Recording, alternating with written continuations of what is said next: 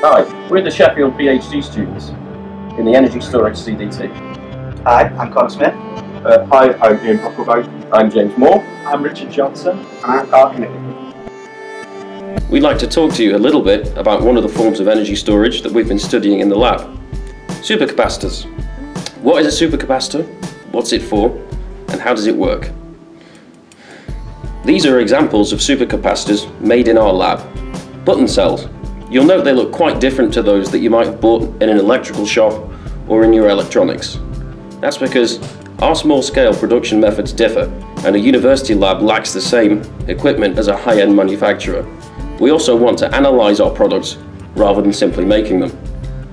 These cells might look a little bit more familiar, but what exactly is the purpose of a supercapacitor? Supercapacitors, also known as ultracapacitors, are a fairly prevalent form of power storage that feature often in day-to-day -day life. They have very fast charge and discharge rates and can withstand over half a million cycles. They store energy in two ways, the first being via electrostatic charge accumulation on the surface of the electrode. This is fundamentally governed by surface area, which is extremely high due to the microporous carbon electrodes and is known as electric double layer capacitance. Alternatively, they can store energy via electrochemical faradaic reversible reactions that occur on the electrode surface, which is known as pseudocapacitance. These two mechanisms can operate individually or simultaneously depending on the material of the electrode.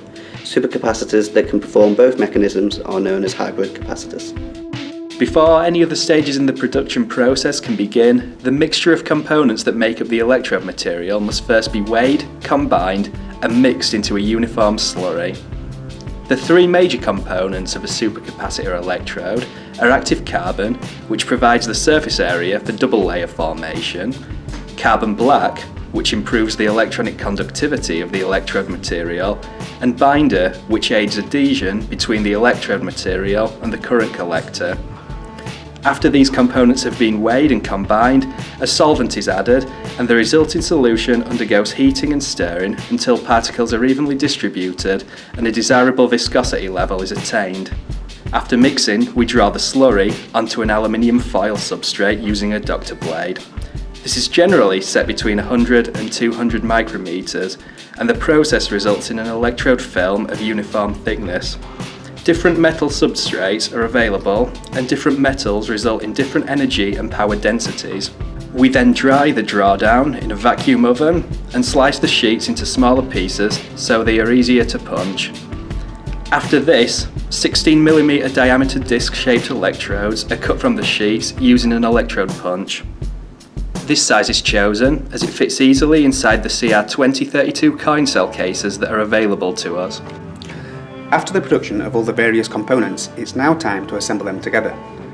To do this, it's important to use an argon-filled glove box to protect the electrolyte and other components from moisture contamination. Firstly, we place a steel spacer in one half of the coin cell casing to help protect the electrode and aid compression of the components. One of the electrodes is then placed with the current collecting side onto the steel spacer before adding a fibre glass separator, which is then soaked with electrolyte.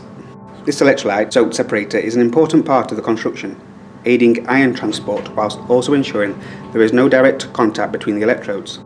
The active material side of the second electrode is then placed facing the separator before adding another steel spacer and finally the other half of the coin cell casing. This assembly is then crimped, bringing all the components into close contact and sealing the coin cell, protecting the contents from contamination. And there we have it, a finished supercapacitor coin cell. Once the supercapacitors have been manufactured in the glove box, they need to be tested in order to analyse their performance. We use two machines and pieces of software to do this. The first machine from Arbin Industries is used to run galvanostatic and cyclic voltammetry cycles. When the machine is run galvanostatically, it runs cycles of constant current at a variety of C rates. This allows us to produce plots of I versus dV by dt and V versus I.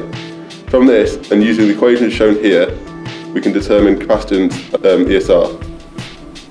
The cyclic voltammetry sets a constant increase in voltage and constantly changes current to achieve this. It produces plots of I versus V that can be used to show if behaviour is via EDLC or pseudocapacitance.